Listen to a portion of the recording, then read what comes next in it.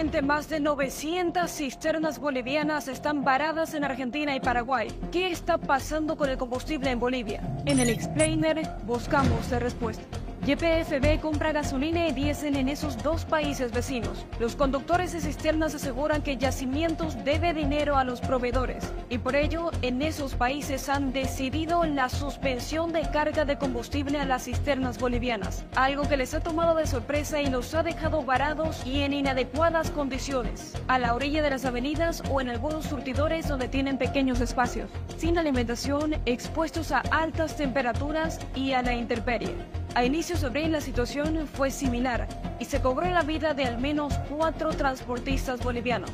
Actualmente la crisis lleva más de una semana sin resolverse. Según Radio Fides, en Zárate, cerca de Buenos Aires, 400 cisternas bolivianas aguardan en la refinería local para abastecerse y continuar con sus tareas habituales. Los conductores exigen una respuesta inmediata por parte de las autoridades ante esta situación crítica. En Paraguay, aproximadamente 500 cisternas bolivianas también enfrentan retrasos similares.